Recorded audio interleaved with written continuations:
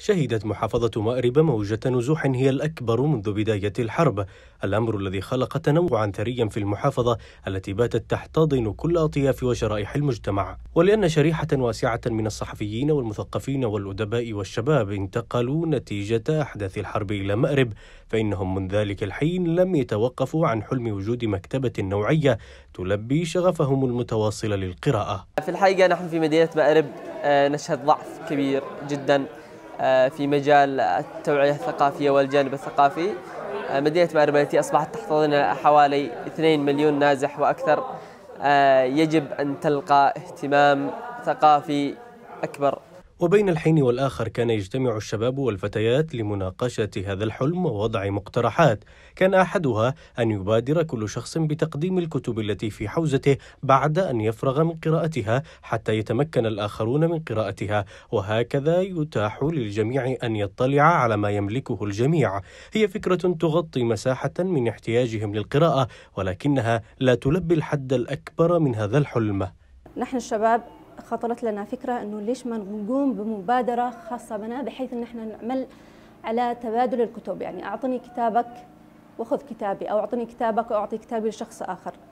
آه خلال هذه المبادرة كونا ما يشبه السلسلة سلسلة كتب لمجموعة أشخاص. كانت يعني العمل جميل جدا وأشبع آه جزء من شغفنا لكنه جزء يسير جدا. وتقدم أحد الشباب في مأرب لجهات رسمية وخاصة بتصور مشاريع لمكتبة جامعة على شكل استراحة ومقهى وبمعايير المكتبات المتعارف عليها لتهيئة الأجواء الكاملة للقراءة وحسب ما يميز المشروع أنه سيكون مجاني بشكل كامل آه، يحتوي المشروع على العديد من المجالات آه، مثل القراءة واستعارة الكتب وأيضا آه، خط الإنترنت وأيضا عمل البحوث الجامعية وغيرها من البحوث.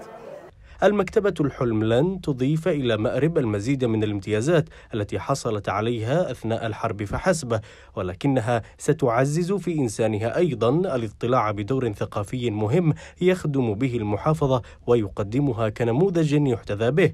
هذه المشاريع لم تقابل بصورة إيجابية وفي أحسن الأحوال ظلت وعودا كما هي. لا تتعدى حاجز الوعد إلى مضمار التنفيذ. وطبعا نحن قمنا بالمطالبة ورفعنا عدة مشاريع يعني مشاريع آه، ذاتية من الشباب أنفسنا إلى مكتب الثقافة إلى مكتب الشباب والرياضة.